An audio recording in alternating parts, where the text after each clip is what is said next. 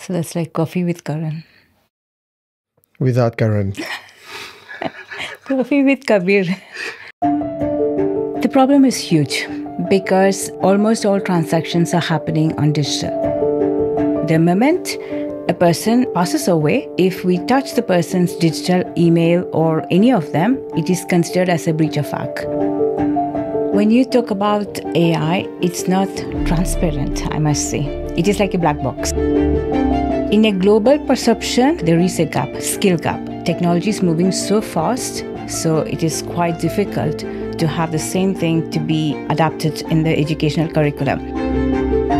Now, you don't have to be an expert to have an attack generated. You have services given. Hmm. Dark web is a place where our informations could be there, but we, we are not aware. We are giving devices to our kids. Are we giving a protected device? Or are we giving them a gun? the risk involved with them having phones and access to social media, access to messaging platforms, to groups is huge. They have identity on many platforms. They might be having 10 to 15 email accounts, and the parents might not be aware. The footprint they are leaving as a kid in a gaming platform, in a messaging platform, that remains. By the time they realize it's too late. Who controls AI? Who makes the decisions? Who makes the frameworks? You see the magistrate, for example. The first question we need to ask is Are they literate in technology? You cannot use an open source tool and uh, submit to the court.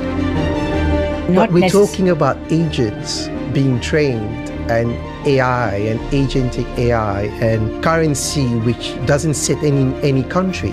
Where is this really going? And, and who's going to be suing whom based on what law? The research says that every five minutes there are deepfake crimes. And by the time you're trying to prove the character assassination is done. Exactly. In those cases, when we are taking collecting evidences, we should have the blockchain. The ticking bomb.